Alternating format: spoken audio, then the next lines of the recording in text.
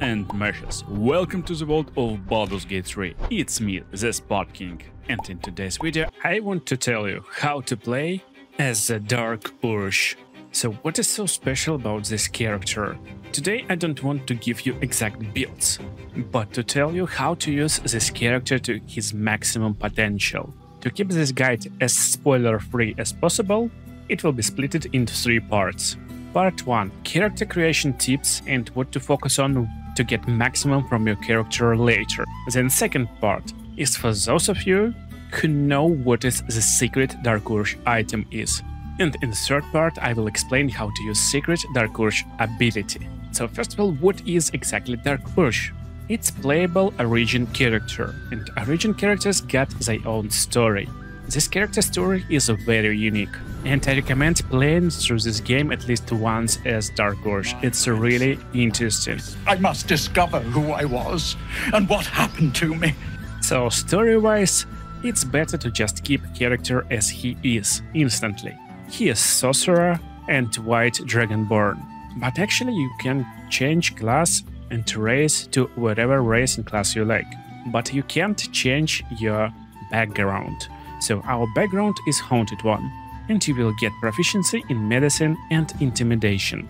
Intimidation is charisma based proficiency, and while playing as Dark Urge, there's a lot of chances when you can lose your lives for some reason. So my first recommendation will be is to pick any charisma based class. And there's four classes actually. Bard, Paladin, Warlock, and Sorcerer.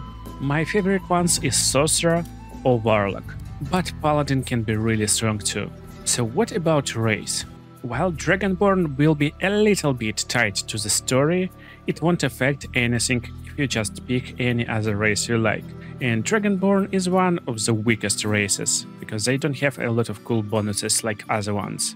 If you're going for Paladin or Bard, especially if you will focus on martial weapons like hammers, swords, etc., I would suggest going for Half Orc. He's really powerful, he can be downed and get up by himself, and you roll additional dices when you get a critical hit with melee weapon, so it's definitely melee weapon style. If you want to go into bow style, maybe assassin like, then try to look for half elf. They get nice protection from being charmed and you can't be put into sleep. And if you go with wood half elf sub race, you can get additional movement speed, which is pretty nice buff too. Another good race will be Drow. They feels like a really nice fit for Dark Urge or Tieflings. They really dark and demon-like creatures. If you're going for Sorcerer or Warlock, go with this ability distribution. Get 16 into Charisma, its main spellcasting and your token attribute. Then some Dexterity to 14 and Constitution to 14 to get more armor and health. And at least some points into Wisdom.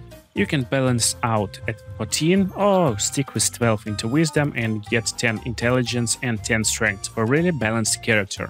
This stat distribution will work for Warlock or Sorcerer. If you're going for Paladin, then get higher Strength, its main fighting ability. Then 14 into Charisma, 14 in Constitution, 12 in Wisdom, and 12 in Dexterity. If you're going for Bard instead of Paladin, then definitely switch Strength with Dexterity, and you can make this balanced character. Don't stress too much about your oaths if you're picking Paladin, because you probably will lose it and become Oathbreaker anyway. And now it's time to go and find out how we can use these classes with special Dark Urge item. So that's our item. Yeah, this cloak. It's called Deathstalker Mantle. And this mantle can be acquired as early as Act 1. Make sure to press long rest from time to time and you will find this out. So what's so special about this cloak? Once per turn, when you kill an enemy, shroud yourself in darkness to become invisible for two turns. That's very cool and powerful ability, and you can utilize it with every class I mentioned. So let's take a talk with them. Most of the time when you play in mages, you are very vulnerable if enemies come close, but not as Dark. Even with low movement speed, you can find out targets that can be killed by your spells. And it's easy to kill with spells as Sorcerer or Warlock. So let's try to land a shot and she's disappeared. But we are right now invisible. So to utilize uh, this cloak, all we need to do right now is to just get to another position. After we changed position, enemies will try to go to this location and find out where we are. Because we are too far away, they can't find us. So look, Hendrik trying to find us. He's looking to the right, to the left, to the front, to the back, and there's no us here. And we disappeared from battle basically. Now we are still invisible, and this works when you're playing solo, of course. If you're playing with your party members, then on your next turn you will just get advantage. Advantage means you will roll two dices, and you will get advantage while attacking from invisibility every time. And that's why when you play in this type of builds, you want to prioritize spells that uses attack rolls. So for example, Fireball uses no attack roll. And while it's nice to be invisible and be able to like cast fireballs from invisibility, to maximize potential of your cloak, try to find spells with attack rolls. It could be cantrips too, so Eldritch Blast is cantrips that require attack roll. And as you can see, even on lower level target, I can hit only 80% of the time. That's because I'm too close, so just uh, take a little bit of distance, and of course you will have this distance if you run away on previous turn. Going to unleash all Eldritch Blasts on this target now with 96% chance. Really easy, with advantage it's easy to hit critical hit, destroy him in one turn and be invisible again. So that's Assassin Mage playstyle, really viable, really powerful, and best spells that require attack roll, in my opinion, is Eldritch Blast and Scorching Ray. Very nice spells because you're doing a lot of spell damage, a lot of attack rolls, so getting advantage on them is really nice. But what if you're playing Paladin? It works the same and also like magic. Just go in and smite down targets. Most of the time when you play in Paladin, you're a mid shield that everyone sees. But now, just by destroying one enemy with a smite, you become invisible. And now you're a stealthy assassin. Enemies trying to find you, they will panic. And hitting critical strikes with smite is really powerful. That's why getting advantage from this invisibility is insane. And that's really nice way to be invisible as paladin and invincible at the same time. Kinda same playstyle will be with Bard. With Bard I recommend going for dual-handed crossbows, each in one hand, but for some reason this ability was a little bit bugged and Deathstalker Mantle not activating every time. Still, you can use uh, some dual-wielding builds. I recommend watching my Astarion video. It's a very nice and powerful build with two daggers in each hand. And now it's time for our third part. So, we will be using this ability, and I will explain how to use it for its max potential. This ability is Slayer form. The earliest you can get this ability is in Act 2, but only if you're playing as a bad person. If you're trying to be good Dark you can get it only in Act 3. So if you get in this early, you will get 98 hit points, which is insane amount, or still insane amount of 153 hit points at level 10. While in Slayer form you can't talk or cast spells, you take Dexterity, Constitution, and Strength ability scores as Slayer, and your Intelligence, Wisdom, and Charisma will stay. That's one reason why you want to have Wisdom and Charisma based characters as Dark Urge. You will get nice and better saving throws in these two attributes, while in Slayer form, of course. And when Slayer form drops to 0 hit points, instead of dying, you will be reverted to your normal form. So that's kinda same as Druid form change, but don't treat it like this, because you can use it only once per long rest. Now it's time to just use our Slayer form, and there he is, Slayer. So as you can see, we got really high strength, 14 dexterity, 17 constitution, and our armor class will be 16. So pretty low for last act of the game, but still you can increase it if you know how to play this form. As Slayer, you will get Slayer's improved extra attack, and you can do two additional attacks after attacking with your main hand weapon. Your main hand weapon doing already insane amount of damage. And if target is prone, you will be doing critical hits. That's very important information, remember this. If target is bleeding, they are afflicted with poison stage 1. Basically, each round, if you hit enemy with your normal attack, and he was poisoned, he will try to succeed on saving throws or become super poisoned. But coolest part, if target is bleeding, and prone at the same time, your attack not only will be critical hit, but also can inflict this super cool condition. Target will be vulnerable to all damage types. To all damage types. That's super powerful. Vulnerability means uh, target will take double damage from each source. And that's only our main attack. Additionally, Slayer got 4 additional attacks. So it's multi-attack that doing a lot of attacks in one turn, and it's written as uh, 1d4 plus 1d4 plus 1d4 plus 1d4 plus 4d6. And 4d6 is conditional if target is bleeding and dazed, basically. When he's dazed, you're doing each attack as critical hit. If he's bleeding, you're doing additional 7 slashing damage each hit. So that's really powerful attack. You can do each attack every turn. Now the quest, how to inflict dazed, poisoned, broned conditions. You got it all. So, Bloodbath. 3d10 damage, the target will start to bleed and you will start to regain hit points each turn. Relentless Lunge. You leaping into the air, smashing foes into the ground, possibly knocking them prone. And that's only bonus action. You can do it once per turn. It eats a little bit of movement speed.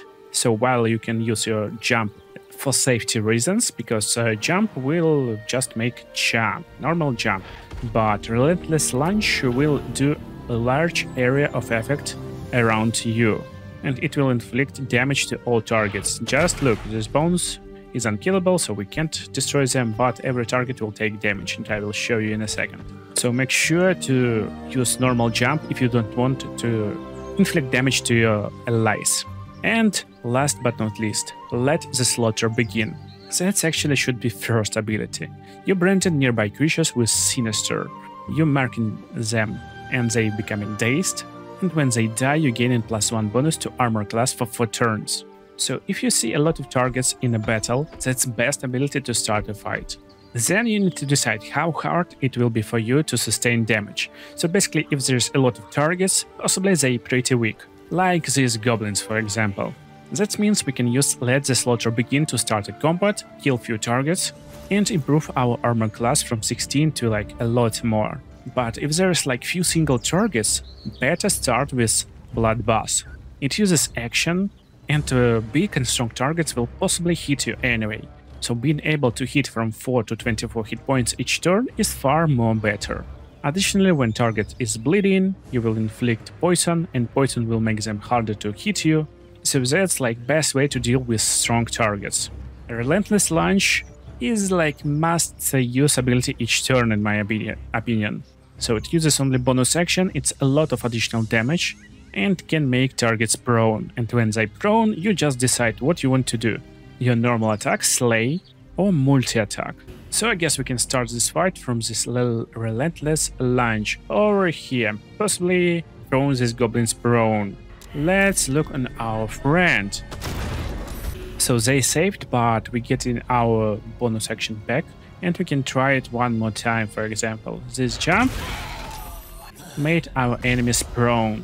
Don't forget there's a lot of targets, so let the slaughter begin is always a nice way to do some stuff, but they can be saved from let the slaughter begin, so make sure to check your targets. For example, this claw saved, but this goblin not and he gets this Pulse Mordus mark on him. He will give us armor class. If you want to hit this target that got affected by Let the Slaughter Begin, use multi-attack, because multi-attack crits when target is dazed. But when target is prone, always use normal attack, Slay, because in this condition, normal attack will do critical strike. So let's see damage on this worg companion. He is dazed, and he will give us additional armor if we can kill him. As you can see, there's not a lot of damage. Critical hit on 1d4 is basically 2d4, so damage is really laughable and we haven't killed level 2 enemy. That's why I always try to use multi-attack when target is bleeding. So one of our main combinations is Bloodbath, then multi-attack. If target is prone, that's good, but it's better if he's bleeding. But still, our normal attack doing insane amount of damage, 13 to 43, and we can destroy him with our normal attack instead. Now our armor class should be raised to 17. But that's not forever, because one point of your armor class will be lost each time you avoid an attack. So, in my opinion, basic and best combination will be just use Relentless Lunge and try to make your targets prone. So let's try this out. Not lucky this time, if no target is prone, try to use your Blood Bath and possibly make target bleed. So, again, saved. If you're not inflicting any conditions, just use your normal attacks. Don't forget you can use three of those. And your normal attacks is incredibly powerful. But if you're lucky and target is prone, then you will do even more damage with your normal attacks.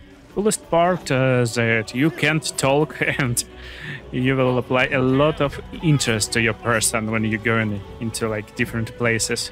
Everyone will go and try to see what you're doing, who are you. It can be disadvantage or advantage depending on the situation. So if you just want to ignore some dialects, uh, go into Slayer form, and you won't get involved in them basically. But sometimes you will be involved in combat. If it's hard to target creatures with a lunge, just make sure to go into tactical view from top down. Now it's easier to strike two targets at the same time and possibly make them prone, like this one. And look at the damage, it's just insane. 12d6 slashing damage. If you're using short rest, you replenish your health, so if you want to be in a Slayer form as long as possible, don't forget to use short rests to heal yourself. Potions is also viable too. Make sure not to ever start your fight with attack from Slayer, because you will use your action and won't be able to do 3 attacks in a turn. Jump and normal attack on prone targets. If target is not dazed, don't even try to use multi-attack, so normal attack once more, and normal attacks once more. That's how you play Slayer. That's really powerful style. A lot of disables and damage amplifiers, and basically ability to destroy targets in one turn. But if for some reason you will be destroyed in your Slayer form, don't worry. You will get back to your normal form immediately with full health, and can continue your stealthy Dark Urge playstyle while destroying enemies and getting away invisible. And then rinse and repeat as much as you want. I hope you enjoyed this guide. Make sure to drop a like and comment on this video for more guides like this. I'm planning to make Moondruid and Oathbreaker soon, but leave your ideas and suggestions in the comments. See you in the next videos, guys.